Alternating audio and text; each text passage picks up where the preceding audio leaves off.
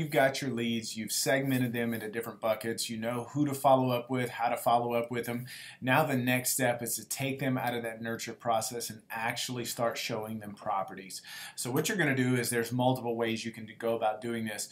You can do it in more of a conversational type way and saying, well, you know, we've been sending you properties for a while. You know, are you ready to take the next step? You know, you really want to kind of set it up there, see if they're ready to move forward with it or even if the next step is actually getting pre-qualified or whatever that next step may be to be like you know we've been doing this a while.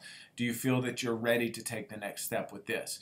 You want to make sure that they're comfortable with it help them guide them along with it ask them those questions and see if they're ready to take the next step and then what I would normally do is the next step could either be a quick meeting to where you can have a, a, Zoom call over, you know, the internet. You can sit there, really get the chance to have a conversation with that person, build that relationship.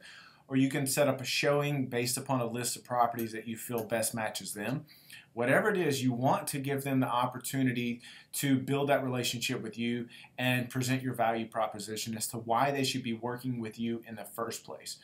So you're going to sit down with them, whether it's a 20 minute meeting, talking about exactly who you are, how you're going to represent them, explain the process, explain the step by step process of what you're going to do and how you're going to do it.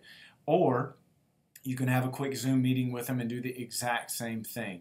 Your whole goal is now to take that lead that you've been working on and building on and transition them to an actual appointment to where they get to know you, they get to know exactly why you're the one to represent them, and then you're going to sit there and you're going to give them your value proposition along with all the benefits of why you're the best, why they should work with you, and that's the whole purpose of it. You take them, you transition them, and then you turn them into an actual client.